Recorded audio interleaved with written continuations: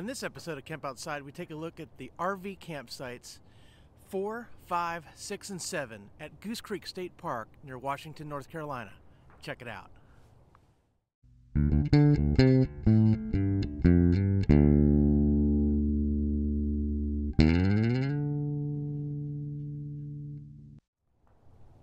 Guys, I'm Kevin with Kemp Outside, your inside source for all things outside.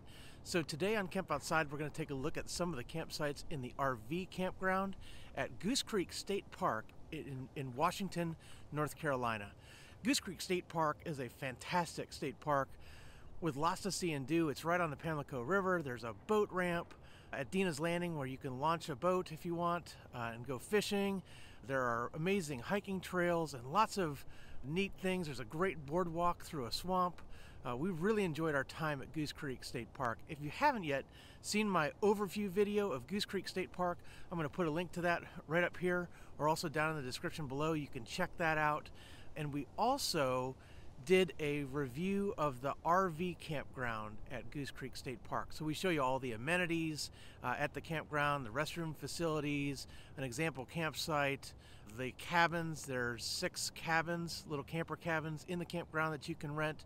Uh, we show you all that stuff. So if you haven't seen our overview of the RV campground at Goose Creek State Park, check that out. I'll put a link to that right up here or down in the description below. So, uh, as I said, we had a great time. Uh, we camped in the RV campground at Goose Creek. Uh, there's also a primitive campground, so if you're looking for something that's a little more tent friendly, also you can check out that. I'll put a link to that uh, a little bit later in the video. But like I said, we had an amazing time at Goose Creek State Park. We really enjoyed the campground. It's a phenomenal facility but it's relatively new. And so when we reserved our site on Reserve America, there were absolutely zero photos of the uh, sites at Goose Creek. So we shot every empty site and we're bringing those to you guys to make it easier for you to select a campsite when you're going camping. So with that, let's get to the campsite videos. Goose Creek State Park is located in eastern North Carolina, directly east of Greenville. It's near Washington, it's on the Pamlico River, and is easily accessed by Virginia Beach and Norfolk, Raleigh Durham, Wilmington, and Myrtle Beach. Goose Creek State Park is a big park with plenty to see and do. It has awesome hiking trails, great water access to Goose Creek and the Pamlico River. The RV campground is indicated by the red arrow. It has a number of RV sites and some camper cabins and a full service restroom.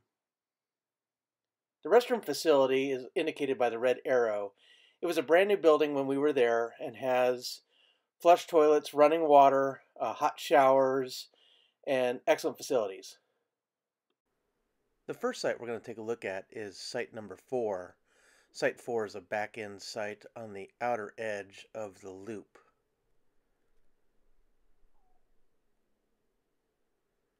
So starting from the main road, you can see that Site 4 is quite large. All the campsites uh, in this campground are quite large. And the site is in a pine forest, which is kind of nice. It is pretty open though, uh, but there's some tall vegetation between each site, which gives you uh, a little bit of privacy and uh, a lot of space between you and your neighbor, which I really like about this campground. And these sites are huge. They're uh, big enough for the uh, biggest RV or uh, camper trailer and tow rig. You know, if you have a a large uh, fifth wheel and a and a large, you know, crew cab pickup truck, you can easily put uh, that in this space. As we make our way down into the site, you can see that it's gravel uh, and that it's level. There's the water hookup, the sewer hookup, and the electric hookup. Uh, these sites do have 30 and 50 amp uh, electric hookups. Towards the back of the site, you can see uh, it has a picnic table and lots of vegetation behind you. There's actually a trail that goes back behind there, which is kind of cool. There's your fire pit with grill grate, a hook to hang a lantern, and um, just a fantastic Fantastic site. Lots of room. So the next site we're going to take a look at is site number five. Site five is a back-in site. All of these sites are back-in. Uh, it's on the interior of the loop, as indicated by the red arrow. So starting from the road, you can see just how spaced out these sites are. You're not on top of one another, as I said, which I really like.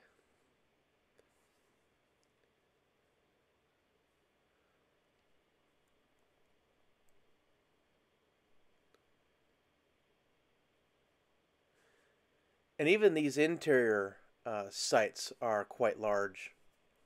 Uh, again, plenty of room for the largest RV, you know, Class A, or the largest fifth wheel uh, and tow vehicle. There's no uh, roof clearance issues in this campground. Uh, you can have a very tall rig with no problems. And again, this site is equipped with uh, water, electric, and sewer hookup. It's full hookups, 30 and 50 amp electric. It has a picnic table, a fire pit with grill grate, and a, a hook to hang a lantern.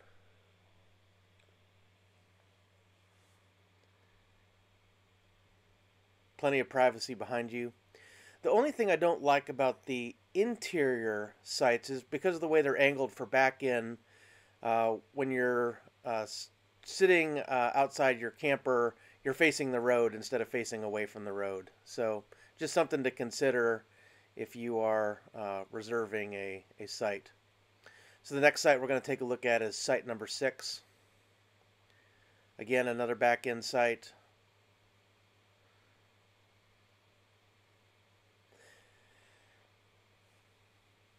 Shot this one on a foggy day, as you can see. And uh, again, just another another huge, uh, huge site. When we reserved our site on Reserve America, there were no photos of these campsites. I don't know if that's since been updated. But if you happen to see this video uh, because you are trying to figure out if these sites are suitable for your needs, uh, hopefully they help you out. I, I, do hope that they do get photos on Reserve America soon so that people uh, don't have to reserve their site sight unseen. Uh, but that's why we, we produce these videos to help folks. So as you can see, again, another huge, huge site. Uh, I really like this site a lot. It backs up uh, into uh, the woods there and it's a little bit thicker. Um, this was just a, a really beautiful campground. I really, really enjoyed it. Again, full hookups, water, sewer, electric, 30 and 50 amp available.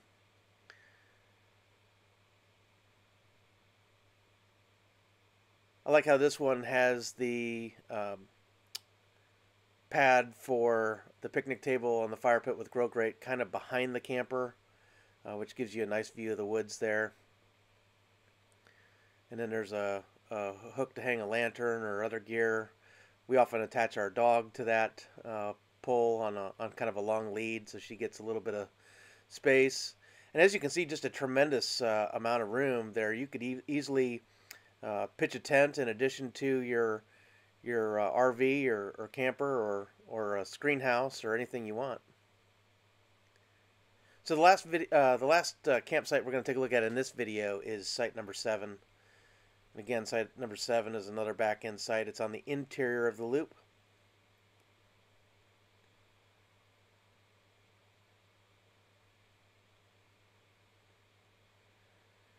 So as you can see there, that you can see what I was talking about with uh, the sites on the interior of the loop. Uh, when you're out of your camper and you're sitting by your fire, you're facing the road. Um, that's not really that big a deal, but uh, if I had a preference, I would choose an outer loop uh, spot. Again, plenty of space between sites. And this campground is brand new, so I'm hoping that uh, as the campground ages, um, they'll allow a few more trees to grow up to give you a little bit of privacy in between um, sites. Uh, but all in all, we really, really enjoyed our stay. Again, another huge site, plenty of room for for the largest of rigs, water, sewer, and electric hookup.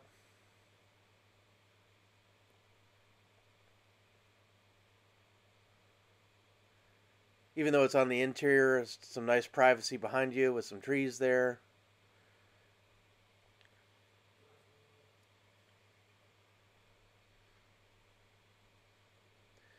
And this site is equipped, uh, like all sites, with a uh, picnic table, uh, a fire pit with grow grate, and a hook to hang a lantern or, or anything else you might want to hang off of there.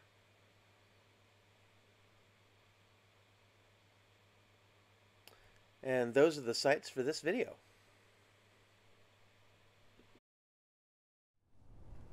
So hopefully you found those video reviews useful. Uh, we're doing this every time we go camping all across America to make it easier for you to select a campsite when you're going camping. So as I said, there were no uh, photos on Reserve America for this campground. So hopefully these videos will make it easier for you to select a site.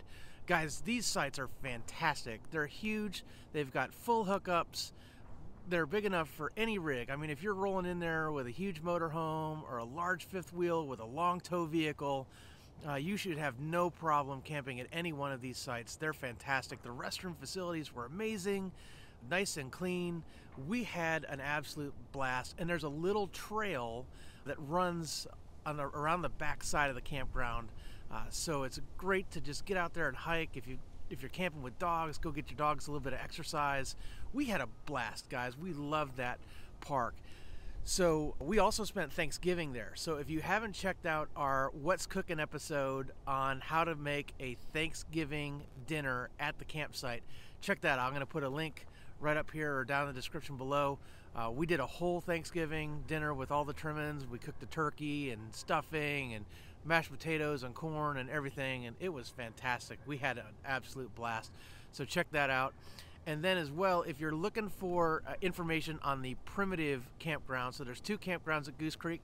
One is the RV campground. The other one is the primitive campground that's suitable for tents. Uh, they do not allow any trailers in there, so no pop-ups. Uh, the road is really narrow. But if you haven't yet seen my overview of the primitive campground at Goose Creek, check that out. I'm going to put a link to that right up here and one down in the description below. So guys, Kemp Outside exists to help moms and dads take their kids camping, hiking, fishing, learn about nature, and develop a conservation ethic. So if you're a mom or a dad and you're kind of new to this whole outdoors thing and you want to get your kids outside, we'd love to hear from you. So drop something down in the comments below. Uh, if you have any questions, we'd love to answer them, like where to go, what gear do you need, any of that stuff. We'd love to answer that. Or you can hit us up on our other social media. We're on Facebook, LinkedIn, Instagram, or Twitter. All the links to those are down in the description below. You can just send us a message there or, or write a comment on any one of our posts, and we'd love to hear from you. So definitely, definitely do that. And guys, so hit that subscribe button. We uh, we can't do it without you. We're a growing channel here on YouTube, and we definitely love all the support from our viewers. We really appreciate it.